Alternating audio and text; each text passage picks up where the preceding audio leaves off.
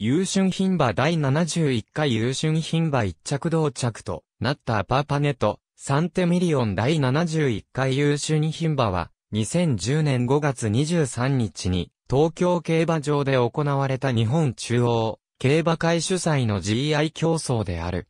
JRA では史上初となる GIJ プニー競争での一着同着となったレースである。一番人気となったのはこの年の桜花賞優勝馬、アパパネ。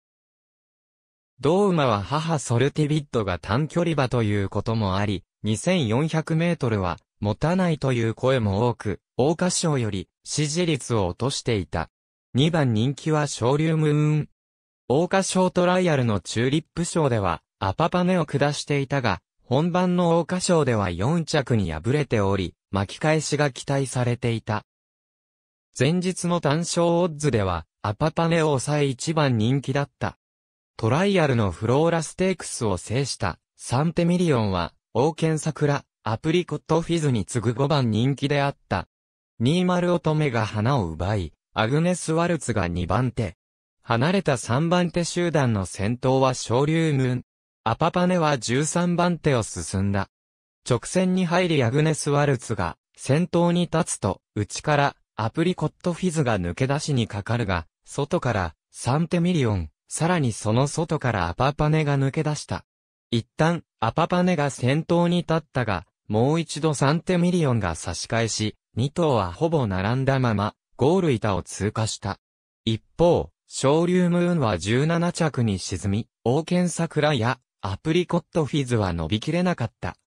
入線後、アパパネの蛯名正義騎手、サンテミリオンの横山典弘騎手は共にウィニングランを行わず、検量室前に戻っていった。非常に微妙な決着のため、結果は完全に写真判定に委ねられた。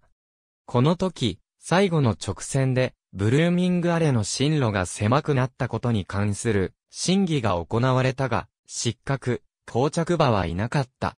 そして入選から約12分後に、写真判定の結果、JRA の GI 競争で史上初となる一着同着と発表された。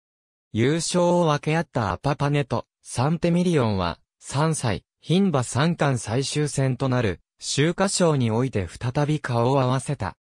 この競走はアパパネに牝馬三冠の達成がかかっていたことに加え、同着となった優駿牝馬の完全決着をつける舞台として注目を集めることとなった。